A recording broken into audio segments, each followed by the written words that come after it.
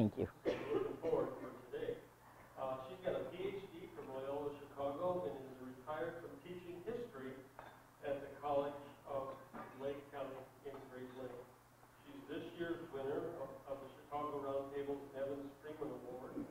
Her talk will focus on what Civil War parks tell us about their meaning and preservation through the generations. Mary? Thank you. Thank you. So much. Appreciate that. Thanks a lot. Very happy to be here with my friends um, north of the border. My daughter lives here and has lived here for a long time. She went to UWM. Um, love Milwaukee, and I'm very honored to be here um, to speak to so many of you new friends um, and plenty of old friends as well. So let's get started. Um, interstate rivalries, and I'm from Illinois and you're from Wisconsin, so you know where this is going. Interstate rivalries between Wisconsinites and their Midwestern neighbors. Um, those rivalries have been alive and well for a long time.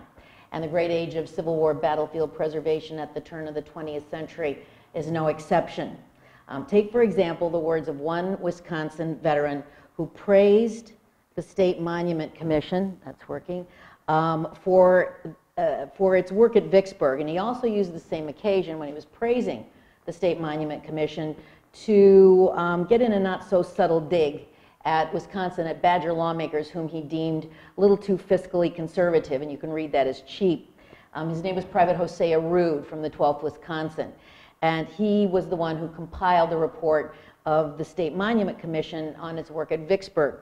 Uh, and in his remarks, he spotlighted uh, the debate about funding the monument uh, back in the day in order to level criticism at frugal, and those are his words, lawmakers, while also appealing to his audience's civic pride. And here's what um, Private Rood had to say. He said, while the bill providing for this memorial was pending in the legislature, some people said plainly that they weren't in favor of it. They didn't believe in spending so much money to put up a monument away off there where very few Wisconsin people ever would see it. But such, object, but such objections did not prevail. Now that we have our beautiful memorial at Vicksburg, and I have to admit that um, it's one of my personal favorites, now that we have our beautiful monument at Vicksburg, it's doubtful if anybody regrets that it was erected. It would not be to the credit of our good state to have no memorial to our 9,075 soldiers in the siege of Vicksburg, while our neighboring states, Minnesota, Iowa, and Illinois, have dealt so generously with theirs. And it was exactly this loyalty to home and to community, as well as to their country, uh, that drove the work of groups of veterans as they remembered their experiences and as they worked with the federal government to mark the battlefields of our first Civil War parks. Uh, commemoration of the war, though, didn't start with the establishment of the first national military parks during the 1890s. Actually, um, that work to memorialize and preserve uh, had its origins in the war years themselves. Um, in several instances of active duty soldiers erecting monuments on sites of recent combat, like the Hazen's Brigade Monument, still very visible at Stones River in Tennessee. Um, also in the establishment of national battlefield cemeteries for Union dead by both public and private sector entities of the North. And finally, the work to preserve and to commemorate and to memorialize had its origins during the war in the precedent setting efforts of private citizens to mark and protect land um, at Gettysburg as strictly a Union shrine. Um, then, subsequently, um, over the decade and a half after Appomattox, commemorative activity uh, on the battlefields continued virtually without Southern participation, not too surprisingly, as the battlefields healed and changed. On the other hand, though, by 1880, Americans also had celebrated their shared revolutionary heritage uh, at the time of the centennial. Uh, maybe more importantly, by 1880, Reconstruction, um, with its military occupation of the South and federal enforcement of freedmen's rights. By 1880, um, Reconstruction had come to a close. So these were areas of national history and racial politics where Northerners and Southerners potentially could find some common ground. Uh, especially it was after Reconstruction, as veterans of both sides realized that they shared the experience of combat as they worked together in business and industry and politics. Uh, it became possible for battlefields to remind a significant number of them um, of feelings other than grief and feelings other than hatred. And it also became possible um, for battlefields to serve needs other than remembering just the Union war effort alone. Uh, the 1880s also saw this, also saw this growing phenomenon, um, and these were so-called blue-gray reunions. This one at Gettysburg in 1888. These were celebrations of national unity in which veterans of each side publicly acknowledged the courage. They were veritable love fests, some of them. Um, they publicly recognized the courage and devotion to duty of their opponents, but without necessarily conceding away the cause for which um, their own side had fought. These meetings started as early as the mid 1870s. Um, they picked up momentum both off and especially on Civil War battlefields uh, during the 1880s. And then with the coming of the war's 25th anniversary during the mid to late 1880s, uh, battlefields gripped the attention of aging and politically active veterans, many of whom, or at least some of whom, were significantly members of Congress. Uh, and those old soldiers, in turn, then became key players uh, in the drive that brought about the initial preservation of Civil War fields at national, at federal expense, at taxpayers' expense during the 1890s. Um, established by Congress in August 1890, Chickamauga and Chattanooga National Military Park is our first federal battlefield park. Uh, later that same month, in August 1890, uh, a law that set aside um, funding for preserving battle lines and for buying land to mark troop positions at Antietam, provided the legal basis, no caption needed, we all know that, um, provided the legal basis for what became called Antietam National Battlefield Site. Then, rounding out the five granddaddies, if you will, uh, that make up the nucleus of our National Battlefield Park Network are Shiloh in 1894, uh, Gettysburg in 1895, and finally Vicksburg in 1899. Um, at a time when there was no National Park Service as we know it today, uh, and only a few other so-called national parks, like Yellowstone and Yosemite, for example, both of which were western wilderness parks. Um, at that time, Civil War preserves that were established during the 1890s set the precedent. They really were the prototypes for all national historical parks of whatever name or whatever designation going forward, period. So those turn century military parks um, on Civil War battlefields are among, still today, the premier historic sites in the entire national park system. And that term military park, I think, deserves a, a little bit of consideration here, um, in part because it was a title that was meant to confer status, the term National Military Park, by the men of the war generation who coined it. And chief among them was this guy, Henry Van Ness Boynton, um, from my own state of Ohio. He was a veteran of the Army of the Cumberland. He was the godfather of the Chickamauga and Chattanooga National Military Park, and he was one of the originators of the military park idea, if you will. Um, and exactly what do I mean by that? Boynton and his fellow park supporters imagined these preserved battlefields as lasting memorials that would honor the great armies of North and South in which they had fought. So, in that sense, their motives were very personal. On the other hand, though, uh, a second purpose that was articulated by park advocates in their effort to get congressional approval, which they obviously had to have to get federal funding, was the potential usefulness of Civil War fields as outdoor classrooms, as classrooms for study by historians and especially by professional soldiers. This, this second rationale was a matter of political expediency. It was a justification that was used by backers as they sought unprecedented federal funding for battlefield preservation. So an emphasis on the basic, excuse me, utility or pragmatism of the military park idea became a key weapon for the individuals who pioneered battlefield preservation nationally. And from that time to the present, um, the government's historic battlefields have functioned as places for instructing all kinds of soldiers or all kinds of students, both civilian and military alike. Uh, additionally, besides the park's usefulness for teaching Americans about history and about waging war, among other things, there was another side to the practicality of calling these first Civil War parks military parks. Preservation advocates needed, obviously needed political support, and they needed enough support in Congress, and they needed it from both Northerners and Southerners to pass establishing legislation for battlefield parks. But open talk of things like slavery and race and secession and disloyalty and other such matters was capable of upsetting emotions that were still pretty close to the surface during the 1890s. If those topics entered the debate about battlefield preservation, needed consensus about preserving them um, could have been harmed significantly or destroyed completely.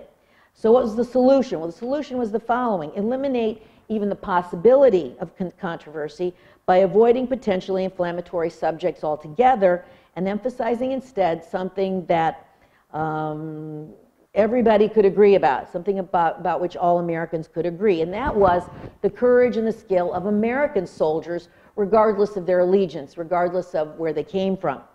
So the name National Military Park, with emphasis on the military, was an invention of the founding generation that highlighted the fighting ability of our soldiers. At the same time, it also represented an idea that was capable of uniting Americans by steering clear of some of the Civil War's more problematic political and legal issues. Finally, as sites where future warriors would learn lessons about American military history, the new parks were placed, not too surprisingly, under the man management of the Department of War uh, in the 1890s. Um, this emphasis then on all things military influenced how the founders shaped this core collection of Civil War sites. So, as they focused on soldiers' experiences in combat, and as they um, and as they did all of that, um, as and as they tried to maintain a field's wartime uh, a wartime appearance, which is very important to them, the men who worked on those sites rebuilt or reconstructed the, reconstructed the stories of great battles without necessarily uh, recalling the reasons for the conflict in the first place. So, under the supervision of the War Department, commissions of veterans from states whose troops had fought in a specific contest, and this was mainly Union states, but a few Confederates um, initially in the early 20th century, those state commissions determined the battle lines of their units, um, and then they marked those locations by erecting monuments at state expense. Besides the Wisconsin monument at Vicksburg, I'll just um, say that this is probably my single most meaningful monument, and maybe, and all of you, I think, will will recognize it, or some of you will have been to Antietam. It's the wounded lion icon symbol um, of the 15th Massachusetts, which is right on the edge of, right in, inside of the West Woods. It's quite beautiful, and this is how the 15th was 15th Massachusetts marked um, scene of, a scene of their combat at Antietam. The same time that this was going on, representatives of the War Department um, in the form of three man commissions of Union and Confederate veterans. These guys marked battery locations with condemned ordnance, and they marked troop positions with cast iron historical tablets that chronicled the combat action. That you'll also recognize that. You might know that Antietam is one of my favorite places. I'm right here on Stephen D. Lee Ridge, where the current visitor center is at Antietam, and in, in view of the Dunker Church, the condemned ordnance, and the War Department tablets, with which I think some of us are pretty familiar. Um, guided by their desire to tell their story on the land itself, veterans at that time then created spaces for remembering and for education that also reflected still today, and still does reflect today, the heroic memory and vision of the Civil War that prevailed turn of the century um, mainstream America. Um, as the war generation, though, died and left the scene, um, their movement lost some of its focus lost some of its vigor, and especially lost the political clout that it did have um, at the turn of the 20th century.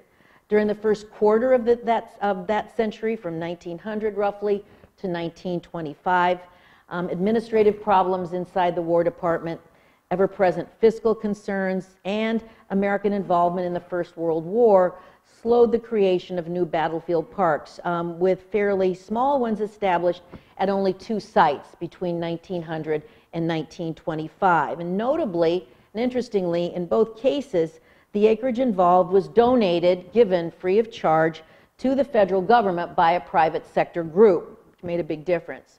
Those two new ones were Kennesaw Mountain National uh, Battlefield Site near Atlanta and Guilford Courthouse National Military Park in North Carolina, which was the first so-called National Military Park on a battlefield of the Revolutionary War. Um, then, though, you've got this redirecting of time and energy toward um, projects, domestic, pro- domestic, social, and cultural projects at home after the First World War.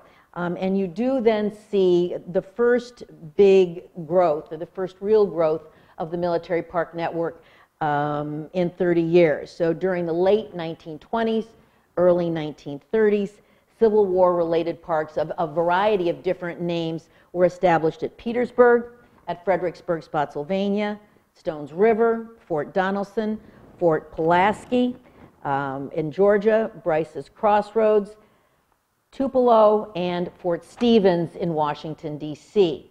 And that's all, not all. Uh, parks linked to other historic American wars emerged at that time as well. And that includes Morristown, New Jersey, Moores Creek, North Carolina, Kings Mountain and Cowpen, South Carolina, all of the American Revolution, Fort McHenry, Maryland, the War of 1812, and even Fort Necessity, Pennsylvania, of the French and Indian War. Um, it's worthy of note here, too, and this is a bit different, as the Civil War generation died off, as those guys passed from the scene, it was grassroots groups and ambitious politicians who played more direct roles in the establishment of battlefield parks during the 20s and early 30s. So while the preservation crusade of the 1890s was driven by this powerful veterans lobby, uh, key support for the next surge of activity came in many cases from groups of battlefield neighbors. I would call these guys battlefield boosters who promoted local interests like tourism and like economic growth, as well as promoting patriotic values.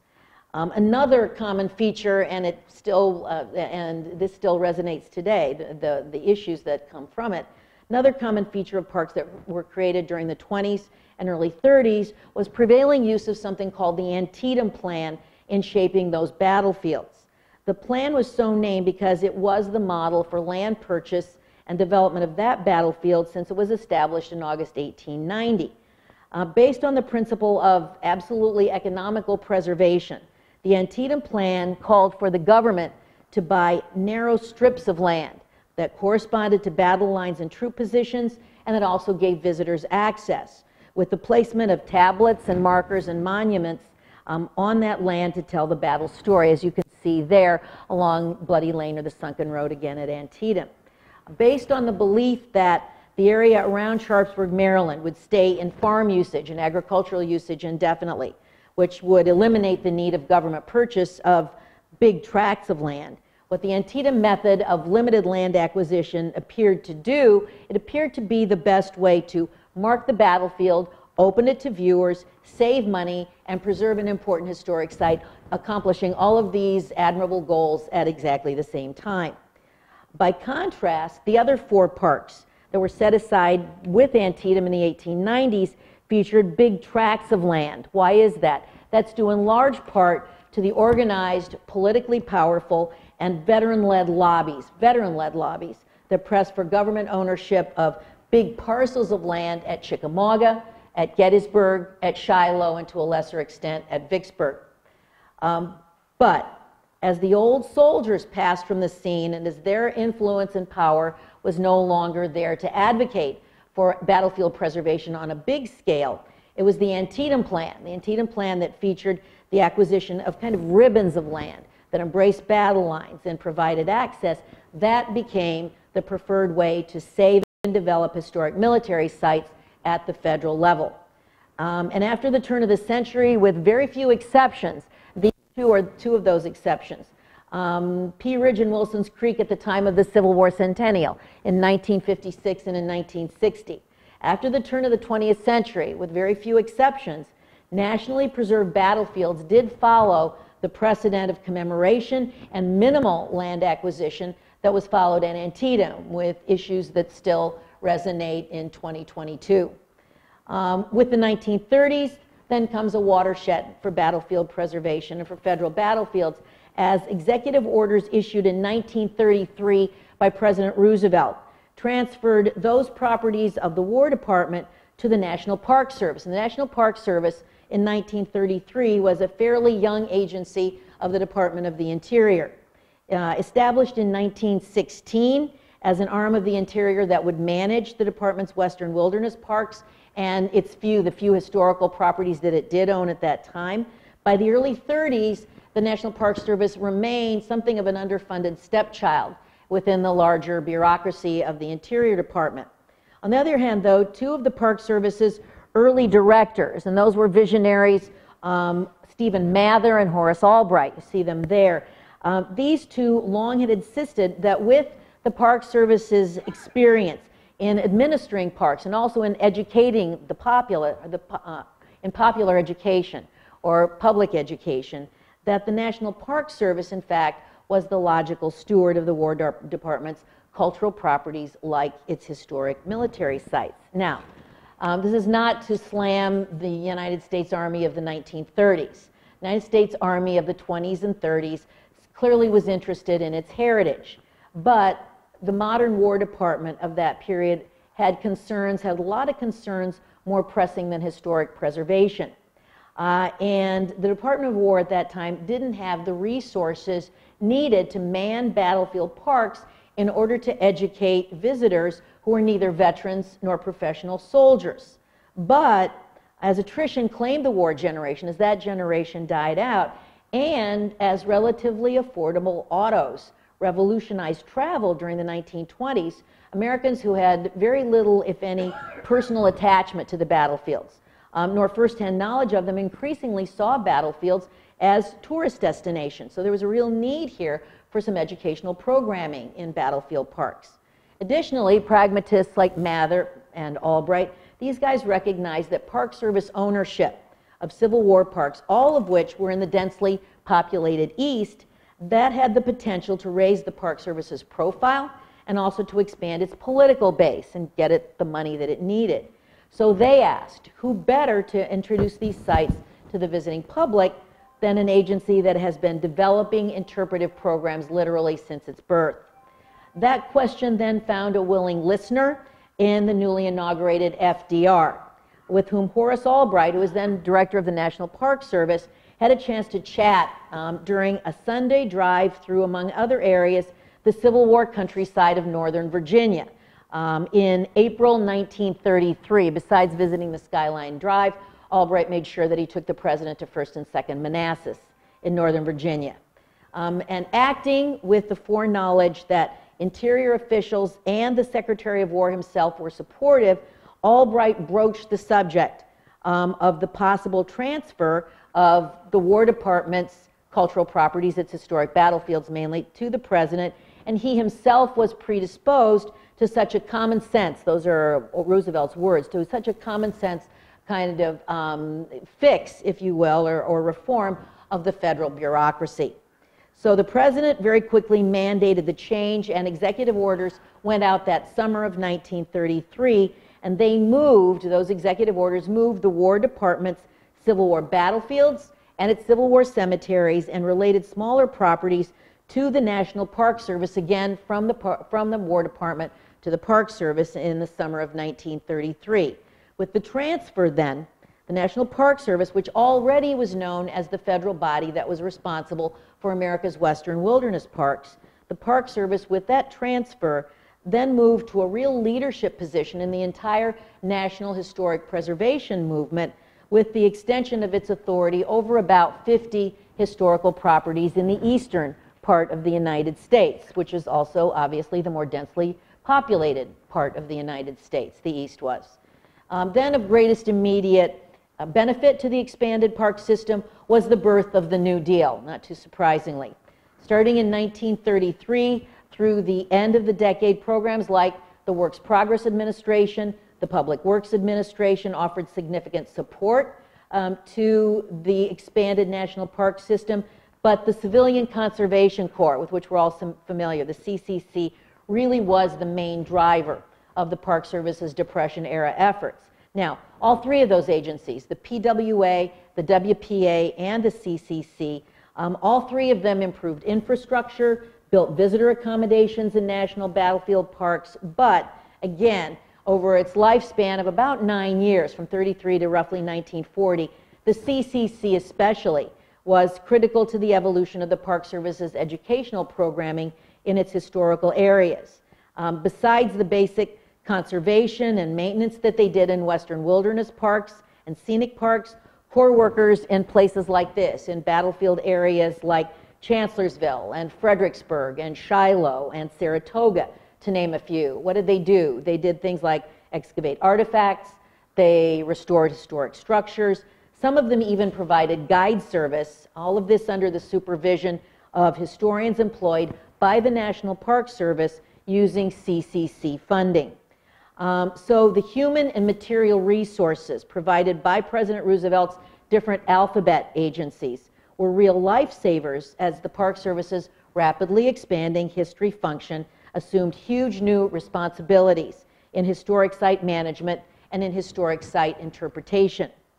Um, with American involvement in World War II, however, not too surprisingly, the Park Service saw its New Deal funding and its New Deal manpower evaporate.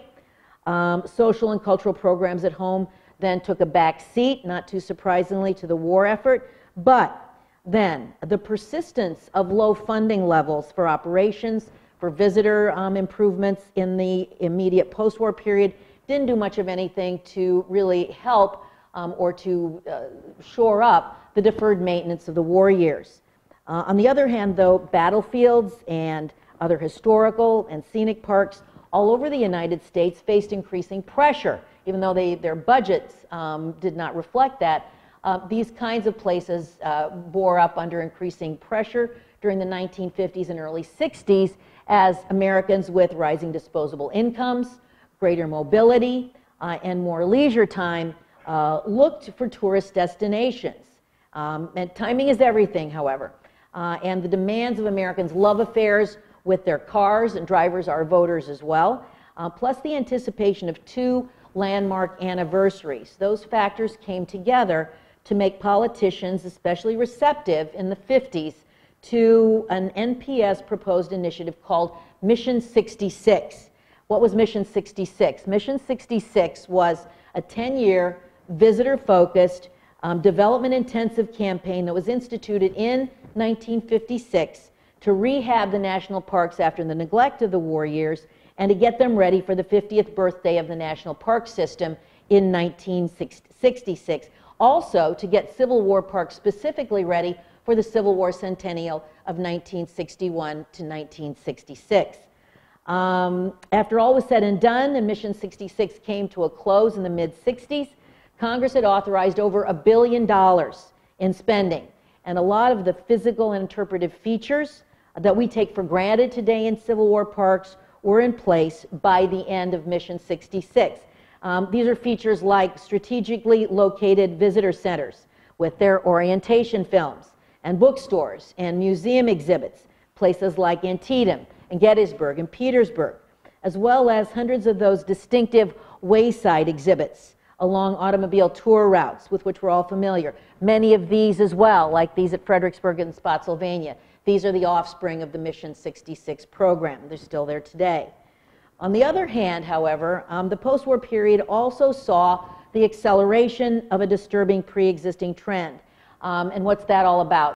That's the fact that commercial and industrial and residential development marched steadily after the war, as it had been starting to do even during and before the war, into rural and essentially isolated battlefield locations. Um, during the late 40s, for example, Park Service personnel at Gettysburg and at Fort Donelson noted creeping development on privately held land next to park borders. This is land that was usually significant in its own right. This was a problem that threatened each site's integrity, its wholeness, if you will, um, in telling the battle story. Uh, on uh, and those kinds of and, and that kind of development on the borders of battlefield parks also clearly was an intrusion on the historic viewshed.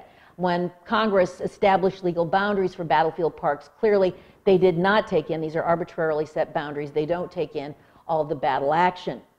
During the mid 50s, then, the possibility of a housing development in the heart of the Antietam battlefield there um, on the Piper Farm demonstrated another concern facing modern managers of battlefield parks, um, especially these strip type parks that were shaped using the so called Antietam Plan. And that issue, that problem, was the problem of so called inholdings. What are inholdings? in holdings or tracts of private land inside of a park's legal boundary, but over which the Park Service has no control. In view of all these pressures, however, Congress's long-time reluctance to fund the acquisition of battlefield land directly continued. And as the Civil War lost its place in the sun with the end of Mission 66, with the end of the Civil War centennial, um, rising real estate prices plus tight federal purse strings did not bode well for the Park Service's ability to take a proactive approach to development threats that were cropping up everywhere. And that's still not all. There's another issue here. At the same time that Mission 66 and the Centennial ended, history as the story of great men and events. Um, the long time definition of which Civil War fields were a prime example, that definition of history was under review against the backdrop of the civil rights movement of the 50s and the 60s and on into the 70s. As the civil rights movement spotlighted minorities and other neglected actors in American history. And as unrest linked to the civil rights movement as well as Vietnam era anti war protests played out in cities all over the United States, the fact that the largest number of cultural holdings in the national park system were battlefields, that fact generated questions about the issue of balance in the system and about the relevance of National Park Service sites to urban Americans. So areas associated with military history were de-emphasized through the late 60s and the 1970s, even as federal funding for land acquisition continued to dry up. The fiscally conservative 70s then saw the addition of just one Civil War park or Civil War battlefield to the national park system. That was Monocacy in Maryland.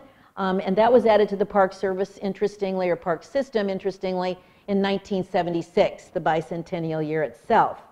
Um, and against that relatively unfavorable backdrop of the 1970s, one of the most prominent fiascos, and some of you, if you've got long enough memories, will remember this place, um, in terms of intrusive development encroaching on battlefields generally and on federal Civil War fields specifically. A case study, if you will, was the late and unlamented National Gettysburg Battlefield Tower, Inc. How many of you remember this thing? Yeah, I figured you well. Um, providing a solid example of one of the most pressing threats confronting modern preservationists. This observation tower for tourists opened in 1974 on private land at the foot of Cemetery Hill. At uh, a height of 300 feet, it dominated, clearly it dominated the surrounding landscape. Now, prior to construction, the Park Service, which always seems to be operating from a position of weakness, and it was then, actually negotiated with the developer, a man named Thomas Ottenstein, to try and moderate the tower's impact, but met with very little success. In the meantime, the Commonwealth of Pennsylvania, which was backed mainly by local preservationists and environmentalists, the Commonwealth fought the case at various levels in court and lost everywhere. In addition, grassroots opposition on a national level never materialized, and so the tower was built. It went up in 1974. Um, it lasted for 26 years. at least it's gone now. Um, I, if I offend any of you who really liked it, um, sorry about that. But it did go down, and it went down in the waning days of the Clinton administration in the summer of 2000. Apparently, Secretary of the Interior Bruce Babbitt really wanted to get rid of it on his watch, so get rid of it he did. It was um, demolished, uh, interestingly, on July 3rd, 2000, which was the 134th anniversary of Pickett's charge, or was it the 137th?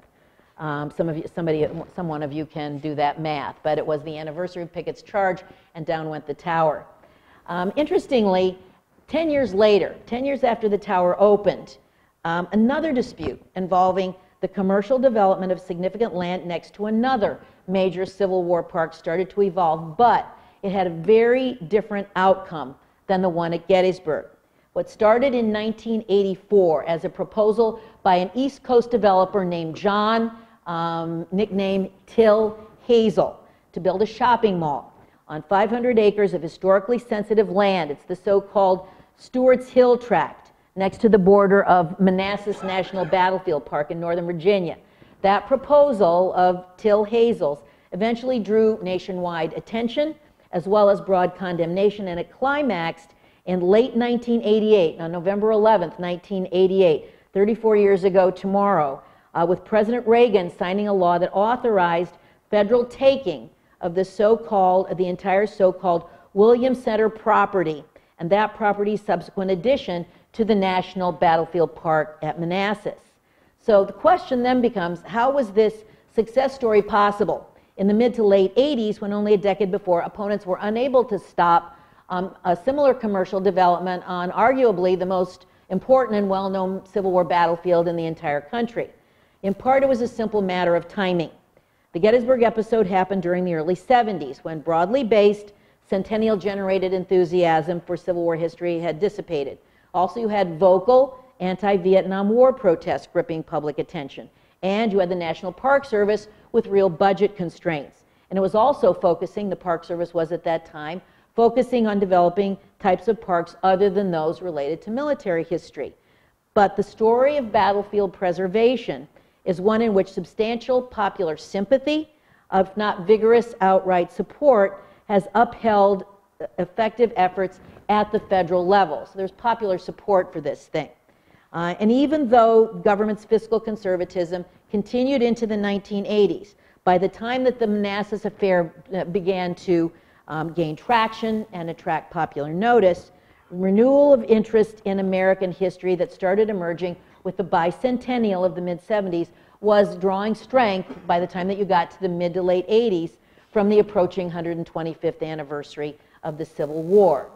Besides timing, then, another essential ingredient here in the successful movement at Manassas was the emergence of a group of dynamic local activists that was able to mine the vein of rising grassroots interest in the Civil War, as well as draw support from a variety of places, from national preservation groups, from influential journalists and other shapers of public opinion, and the support of key politicians, especially members of Congress. Additionally, as they orchestrated this masterful publicity campaign, the Manassas Crusaders also took advantage of the vocal American environmental movement, which was dedicated to conserving green space and our rural heritage, and so provided a natural constituency for advocates of battlefield preservation. They were a natural constituency then, they remain so today.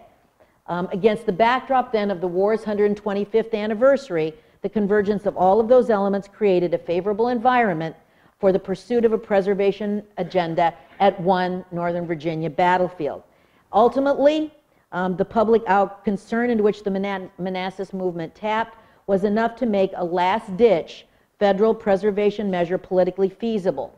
However, at a cost and an eventual cost to American taxpayers of $134 million for the 542 acre Williams Center tract, this kind of adversarial, crisis driven, last ditch action at national expense wasn't going to happen again. We knew that.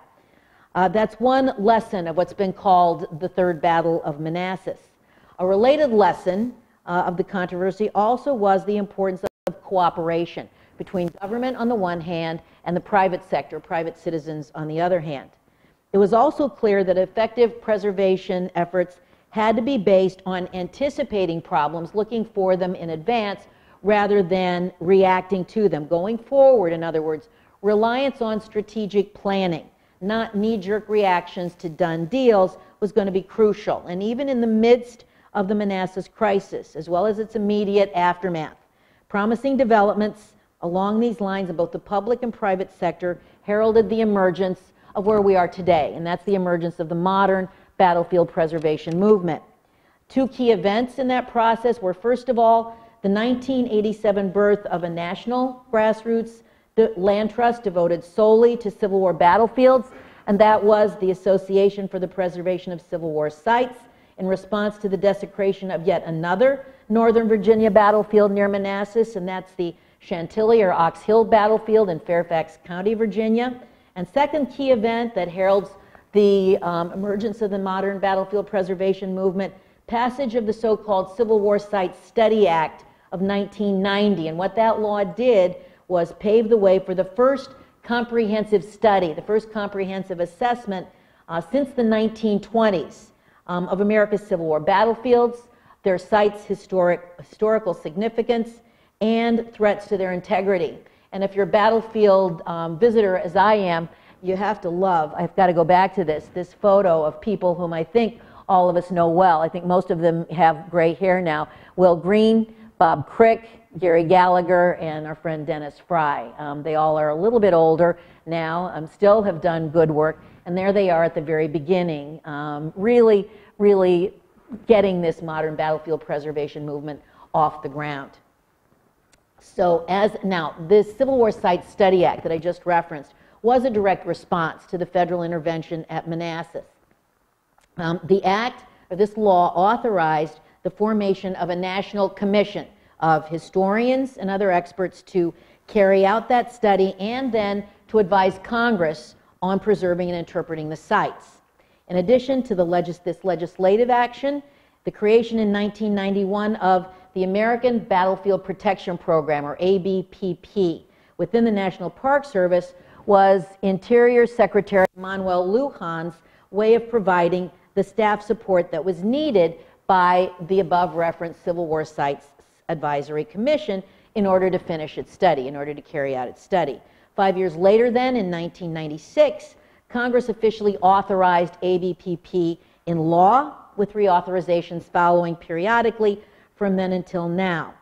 Um, and at the same time, Congress also in 1996, with this law, um, authorized federal grants and other types of financial aid to the Park Service's existing and future preservation partners, like the American Battlefield Trust, for example, as well as a variety of other private sector entities.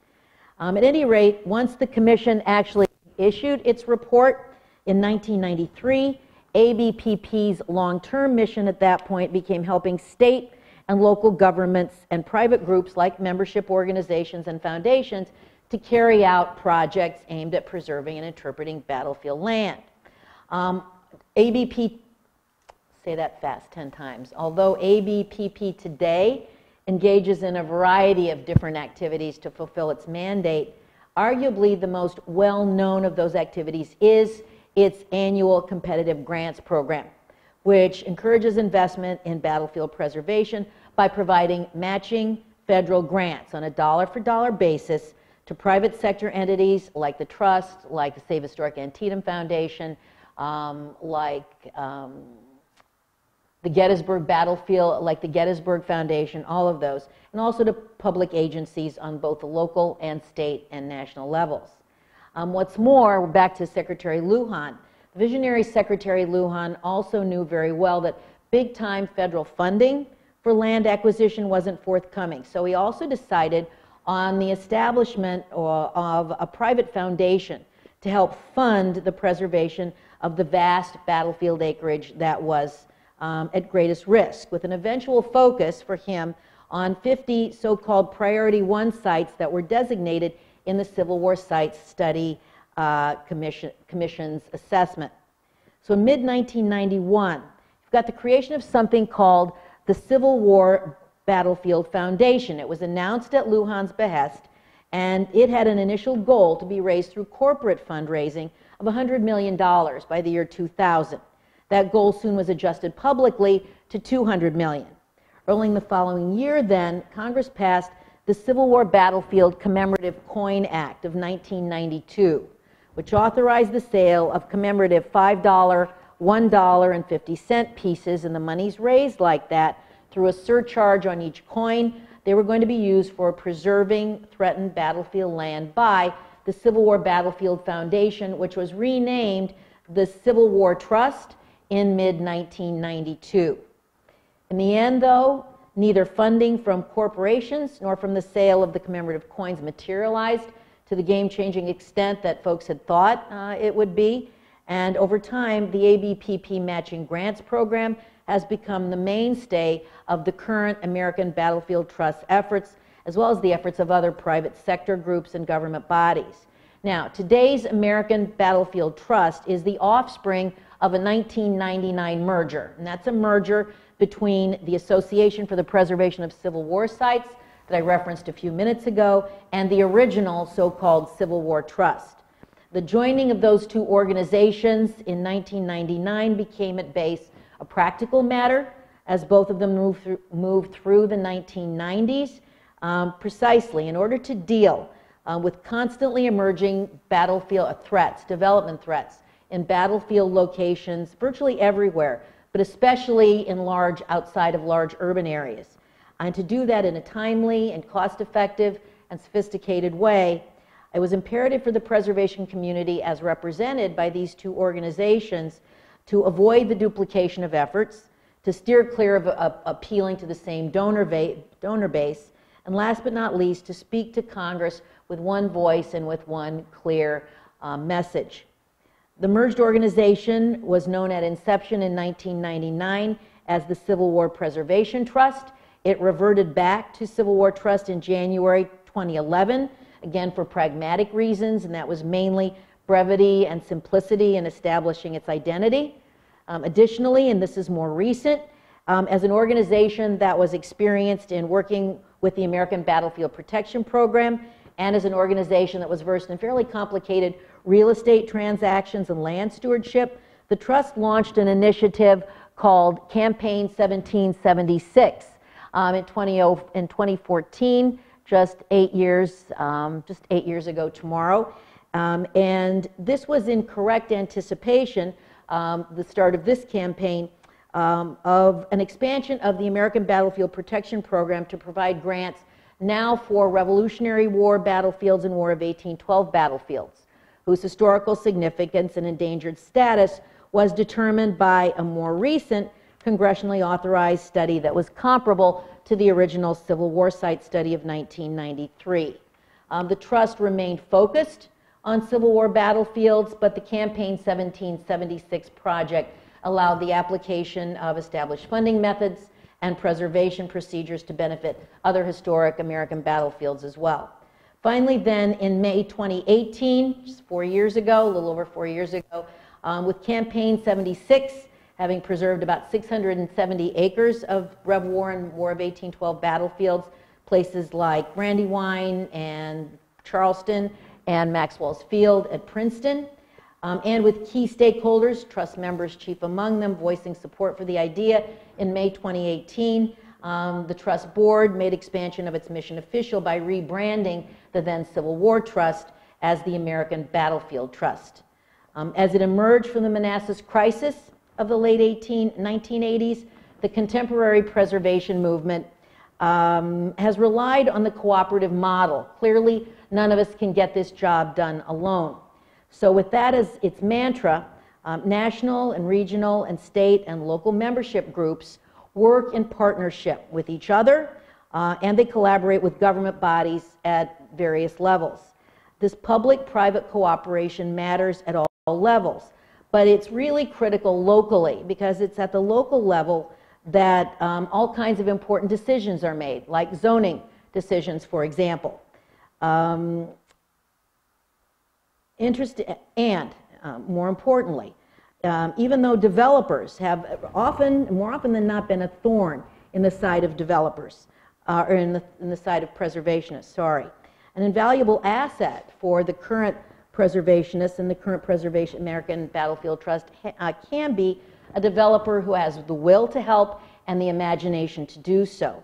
Case in point is the trust's first day at Chancellors, chancellorsville project of 2002 to 2005, in which the Trust's invaluable partners actually were two developers um, a sympathetic local company, which was called Tricord Development, and the Toll Brothers, which was a national builder of luxury homes um, that was willing to compromise with preservationists. Another key ingredient here, in addition to cooperative developers, was a strategically sound and masterful public relations campaign. You can see some of it there that focused on so called smart development and that generated political cover for local officials, local government officials who favored that smart development, which very clearly had a preservation component.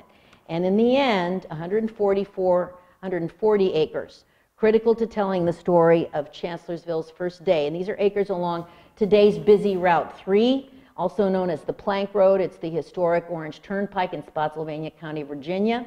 That once threatened 140 acres by the year 2005 were saved, with another 74 acres saved in 2006.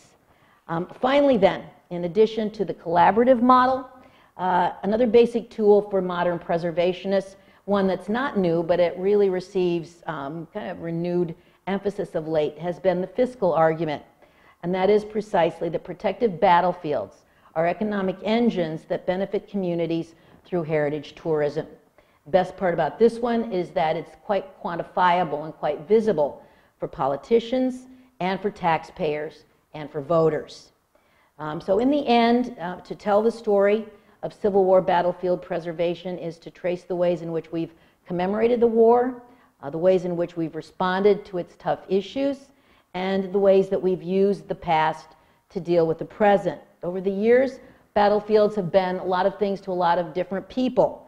They've been places clearly for grieving, for remembering, uh, for contemplating, for learning, for arguing.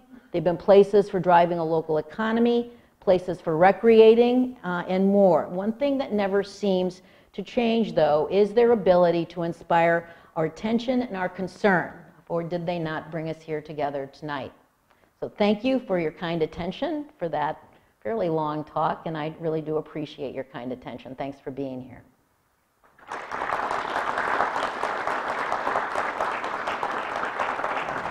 That back. Thanks. And I will, thank you Take so much. questions. Sure, Do we have some questions out there? Okay. Then- Over here. Yes, sir.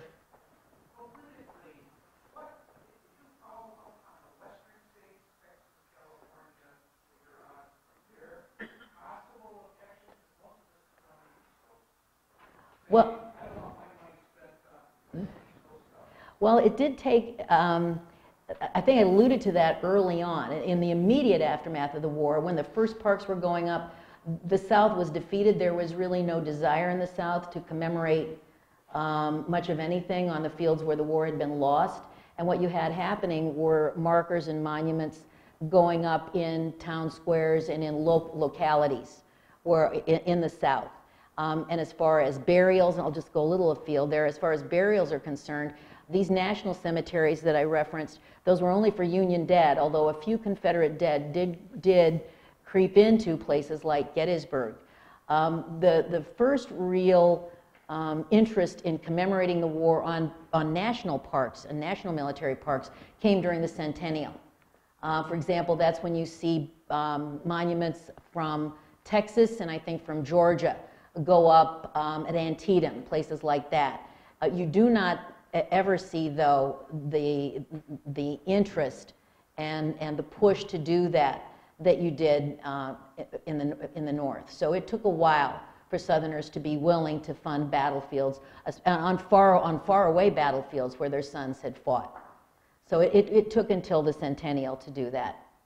I hope, hopefully that answered your question. That's when you really see it. But you don't, um, even today, you, if you go to places, especially Gettysburg, but the original parks like Antietam and Shiloh, um, Vicksburg, you'll see a lot of Union monuments, but you don't see nearly as many Confederate monuments. And it's for, for, that, for that very reason. And the one, the Confederate monuments that you'll see are more recent ones um, certainly probably from the 60s, and then moving on to the present day.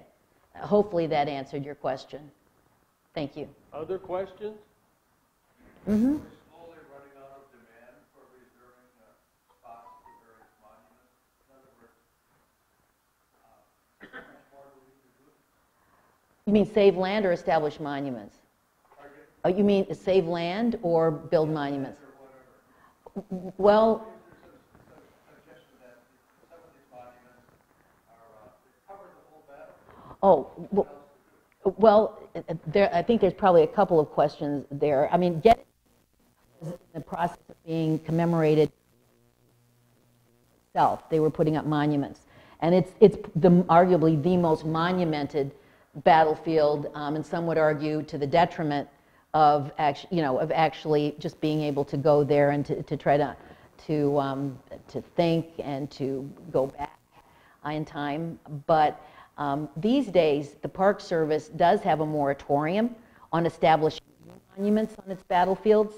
Every once in a while, if some political personality wants one bad enough, Teddy Kennedy wanted one at Antietam to the Irish Brigade, so he got one in 1990 when there was a moratorium. So you cannot put up any more monuments um, on, on federal land on battlefields, but on inholdings on private land you can.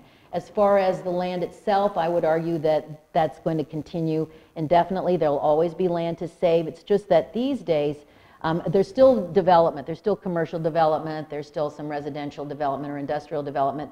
But what we're seeing now are things like solar farms and big box, and what else are those called? Um, solar farms and places like Amazon distribution centers um, that, especially in the DC area, outside of Washington, outside of Richmond, um, the demand for big plots of land to put those things up does go on. And at Brandy Station, I think right now, or recently, there was um, a, a concern about um, a solar a solar farm going up. So those are kind of the modern day um, expressions of the need to preserve. Whereas before, you probably had more industrial development or residential development that I was referencing in the 40s, 50s, and 60s.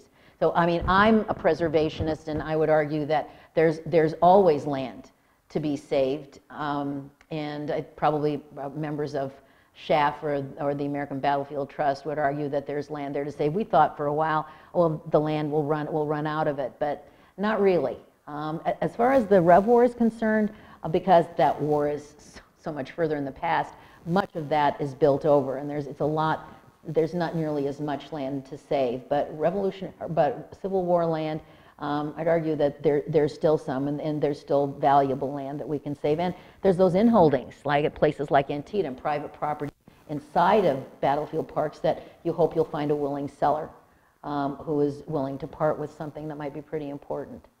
But hopefully that, that's sort of more my philosophy than anything else, but hopefully that at least in part answered your question. Thank you. Yes, sir? For national military parks, does Congress have to appropriate funds every year um, to meet the need for uh, operation and preservation, uh, with the balance coming from uh, private uh, trusts and and funds? Or how does that, That's a-? That's a good question. Um, Each park, I mean, there's an interior budget, and then each park has a budget, uh, and the superintendents, um, I'm I'm not sure what that formula is, but that's all federal budgeting. And um, uh, I think, it- as far, to the best of my knowledge, um, parks, uh, um, pardon me for a little bit of philosophizing here, but congressmen love um, projects that they can take back to their constituents, and they like to establish parks in their legislative districts. But along with establishing parks, you have to have the money to, to maintain them and to keep them up in perpetuity. And that's a little bit harder to get. Um, but that's part of the federal budgeting process. Um, uh, land, um, much of the land for purchasing, um, uh, doing battlefield land or for buying battlefield land comes from the Land and Water Conservation Fund, which is um, a federal fund that has something to do with monies from offshore oil leases. And I, um, to the best of my knowledge, that's what's used to um, help um, purchase, to, to help um, take care of our parks. Um, But, but again, this has to be handled on a case-by-case basis, and it's part of the entire federal budgeting process. Anything else? Yes, sir.